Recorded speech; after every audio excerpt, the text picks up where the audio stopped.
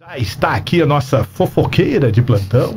Muito bom Pode, dia. pode chamar de fofoqueira, Mari? Ah, a gente Meio vai ofensivo, né? até achar um nomezinho mais bonitinho, eu deixo você chamar de fofoqueira Fica do bem. fofoque- A fofoqueira do bem. Do bem. Tá bom? Eu achei meio ofensivo. É, pesado? Pesado. Ai, ai, ai. Ai, tá bom, vamos- tá mas bom. tudo bem. vamos pensar em relação a isso. E aí, como é que foi o final de semana de vocês? Tá maravilhoso, Prolongadíssimo. prolongadíssimo, Exatamente, né? feriado, como é que tá aí? Eu até, até perguntei pra Tati se ela tinha, esteve em bonito, porque todo mundo esteve Todo em mundo, em, bonito. bo- oh, todo mundo em bonito no É Instagram verdade, também. aham, No onde- Instagram também. Aham. No meu Instagram, as pessoas foram pra Bonito no 7 de setembro. Um mês atrás. Totó, quando que você vai pra Bonito mesmo? Pois é, é- era pra mim ter ido no começo do ano, acabou deixando. É esse final de semana aqui, parece que não deu pra. Não deu pra- muito certo. Não deu muito certo, mas muita gente esteve lá, Teve. né? Tinha, tinha aquela história, Não, não, Não. foi dessa vez. teve até aquela história, lembra do Noronhice? Aham. É, então, acho que todo mundo foi bonitice. Bonice. Mas é um momento errado pra isso, né? É, não, é- não tá na hora Não- certa, não é né? Mas tá bom. bom.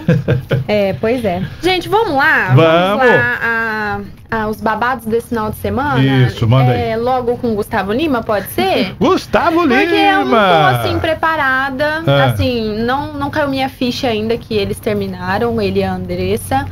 Mas hoje, olhando as notícias, Ah, diz que ele não está muito bem mentalmente, né? Que Sério? agora Tá abalado. tá Quer abalado. dizer que foi ela que meteu o pé na bunda. Então, Ah, dizem que ah. terminaram pelo fato dele beber muito, dela dar aquela cortada ali, dar uma segurada nele, entendeu? Não deixar ele pescar. E isso já vem acontecendo há alguns tempos. Que a gente vê fotos maravilhosas, eu falo por mim, né, gente, também. Que a gente vê essas fotos lindas, esses sorrisos aí maravilhosos pra quem tá nos assistindo.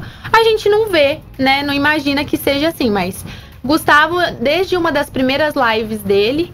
Ele deu uma exagerada na bebida e a Andressa na live fala pra ele. É verdade, Parar, né? lembrar disso. aham. Então, Inclusive, essa live aí foi alvo de muitas Muitas. críticas. Até o Conar entrou em É jogo. verdade, é porque verdade. era uma live que família tava reunida assistindo. Exatamente. Muitas crianças. Aliás, ele tem muitos fãs é, infantis, né? infantis E aí foi alvo de muitas críticas a começar dentro de casa. dentro de casa. E aí a gente, nós que somos fãs, porque Uhum. eles pa- aparentemente, acredito também, passam um casal maravilhoso, perfeito, né? Entre Certo. aspas.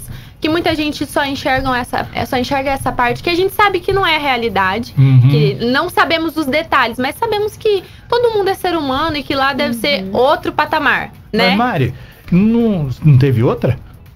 Então, ele jura que não, né? ele jura juradinho Até que provei o contrário. que não teve outra. Até que prove o contrário. Ai, Estamos ai, aí na ai. torcida pra que eles voltem, né? Essa coisa de fofoca eu vou te dizer. é Ai, brincadeira. gente, era a mesma coisa de Luísa e Whindersson. Eu me apaixonei pelo casal e Ah, me acabou. apaixonei por. Eu não me apaixono mais. certo? Estamos Tem que se aí. apaixonar só pelo maridão. Sim, pelo só, maridão. só pelo Jailton e tá tudo certo. Isso, muito Acreditar bem. só nesse casal, porque o resto. É, é, essa- esse você tem o controle, né? Ai. Mas, Mari, só pra gente finalizar esse, esse assunto.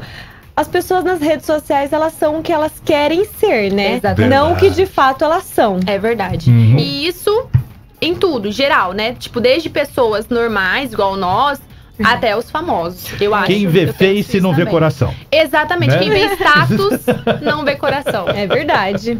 Pois é, próxima. Vamos Próxima. pra próxima. O Whindersson, gente, de novo, né? O Hum. Whindersson e Carlinhos Maia na treta, na treta de sempre. Eles voltaram à amizade? Não, não. Eita. Eis que nos sites de fofocas saiu que o Whindersson voltou a seguir o Carlinhos Maia no Ah. Instagram.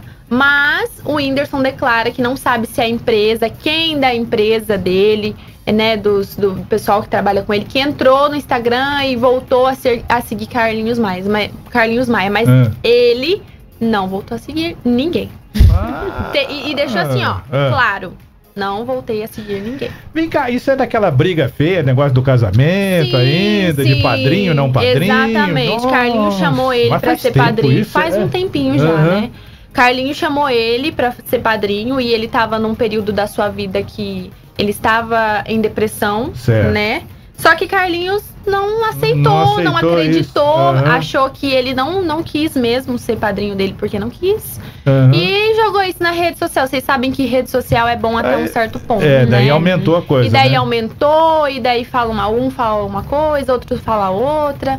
Só que ele realmente estava num período assim bem crítico. Ele tinha até dado uma sumida das redes sociais, né? Isso. Tinha dado uma sumida dos stories, as pessoas ficavam mandando mensagem, os vídeos do Whindersson também no YouTube, no canal do YouTube. E aí, Carlinhos achou, falou: não, não é possível. É, não deve estar querendo mesmo. É E muita mágoa, ficou- né? É Ô, muita o que, mágoa. que é isso, né? E é Muito por rancor. rancor, né? Ô, louco. Águas coisa assim, passadas, né? vira página, É. né? Fica ali remoendo. Aham. E são amigos, né? Eu acho que é uma amizade, assim, como eles mostram, são do mesmo é, ramo de atividade, né? Do humor e tal. Eles mostram uma amizade que eu acho que isso não seria. Eu cabia, lógico, ao Carlinhos entender o período da. da- Sim, o momento dele. o momento dele, né, de saúde, e cabia também ao Whindersson entender que Carlinhos gostava muito dele pra chamar de, de para ser padrinho de casamento, Certo. né? Mas vamos ver aí quais serão, quais serão os capítulos da próxima novela. Né? Vamos Maravilha, acompanhar. maravilha. Quem mais temos aí? Gente, Fábio Assunção.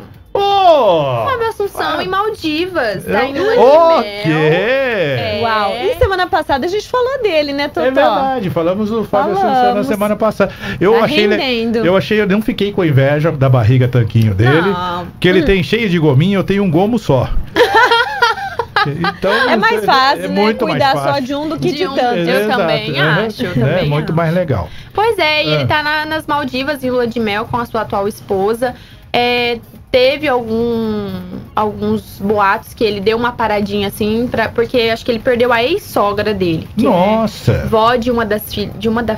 Não sei, acho que uma das filhas dele, uma Hum. filha dele, ela é avó e ele perdeu. Então, em Maldivas, ele fez um depoimento, uma declaração, falando que sente muito a perda e que tá lá pro que der e vier.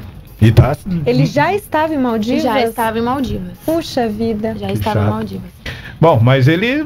Isso é um, é um exemplo de, Gente, de não é? superação, A volta de por mostrar, cima. né? Exato. Sofreu tanto, né? Uhum. Sofreu tanto, assim, na vida ali, como em memes, altos Uhum. memes na internet Verdade. dele.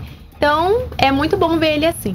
E é, agora eu quero ver colocar o modo Fábio Assunção e fazer desse jeito quero aí, né? Esse modo Fábio Assunção eu gostaria. Colocar, eu quero ver isso. Esse modo Fábio Assunção eu gostaria de viver lá em Maldivas, com o corpo Esse- intrincado. exato. Esse modo Exatamente. top.